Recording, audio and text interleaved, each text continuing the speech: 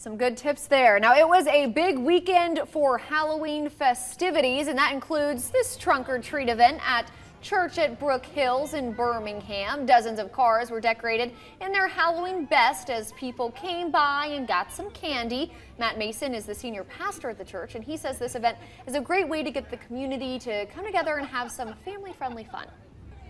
We want to find ways to show our city that we love being here and we want to bring value and um, yeah, be good hosts and good guests here at our city, relate well, partner well. And so this is a great time to partner with parents, have fun, works for them. It's a blessing to them, blessing to the kids, blessing to us as well. A lot of fun there. Now, if you missed out on the event, there is still time to get in on some Halloween holiday action. We have a list of other trunk or treat events on our WBRC News app.